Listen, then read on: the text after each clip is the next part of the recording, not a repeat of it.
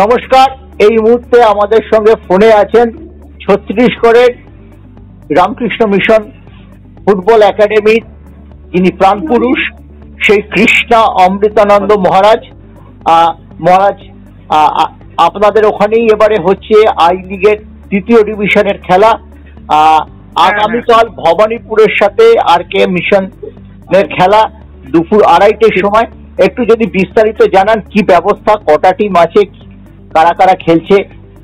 হুম হুম এটা I league তৃতীয় ডিভিশনের ই গ্রুপটা আমার এখানে দিয়েছে যেখানে আমরা রামকৃষ্ণ মিশন এটাকে হোস্ট করছে এখানে নারায়ণপুর হ্যাঁ। ছত্তিশগড়ে আর এই হো মানে টুর্নামেন্টে আমাদের পাঁচটা টিম মোট এখানে খেলছে। পাঁচটা টিমের মধ্যে ভবানীপুর এফসি নারায়ণপুর আমাদের রামকৃষ্ণ মিশন আর দিকে গড়ওয়াল এফসি দিল্লি মণিপুর থেকে একটি টিম আছে কে আই ওয়াইসি এফসি আর আছে কেরালা ইউনাইটেড এফসি কেরল থেকে। যে পাঁচটি টিম এখানে আছে আশ্রমে এদের থাকার ব্যবস্থা সবার খাওয়া দাওয়া সবকিছু ব্যবস্থা আশ্রমে করা হয়েছে।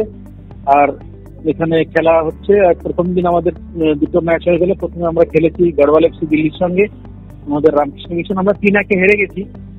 আর সেকেন্ড ম্যাচটা হয়েছিল মণিপুর ভার্সেস কেরালা সেটাতে দুই দুই সমান সমান ছিল কেরালার মণিপুর।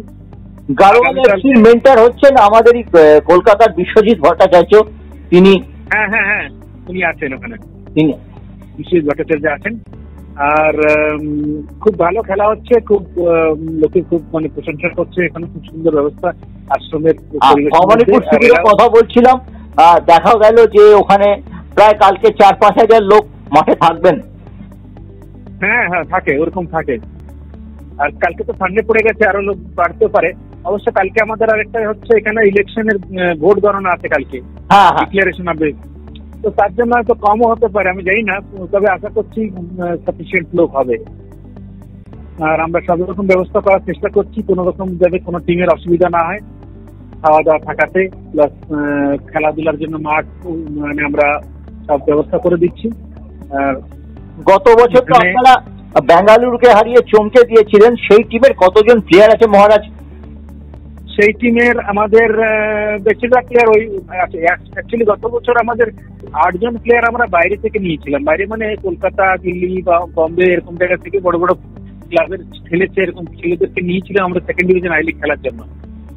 কিন্তু এইবার আমরা থার্ড ডিভিশনে যখন আমরা ইয়ে করলাম, তখন আমরা আমাদের ছেলেদেরকে যে এখানকার লোকাল ছেলেরা, আমাদের ট্রাইবাল বাচ্চারা, তাদেরকে আমরা বললাম যে আমরা তোমাদেরকে বারবার যদি আমরা বাইরের প্লেয়ার নিয়ে এসে খেলাই তোমরা নিজেদের গেমটা কখন তোমরা দেখাবে?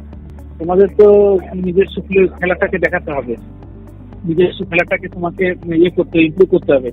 সেই জন্য আমরা বাইরের প্লেয়ার এবার না নিয়ে আমাদের ছেলেদেরকে দিয়ে এবার পুরো টুর্নামেন্টটা খেলাচ্ছি।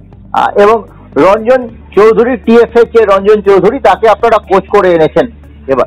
হ্যাঁ হ্যাঁ হ্যাঁ হ্যাঁ। রঞ্জন চৌধুরী উনি এবার কোচ আছে আমাদের এই দু মাস হলো ওনাকে নিয়েছি আমরা। তো উনি সেই যা দু মাসের মধ্যে দেড় মাসের মধ্যে যতটা পেরেছেন ছেলেদের সঙ্গে চেষ্টা করে এক একটা টিম দাঁড় করেছেন হ্যাঁ। আচ্ছা। আহ, মহারাজ অনেক অনেক হ্যাঁ। ধন্যবাদ আমাদের পুরো ব্যাপারটা বুঝিয়ে বলার জন্য। স্পট। নিউজের তরফ থেকে আপনাকে নমস্কার।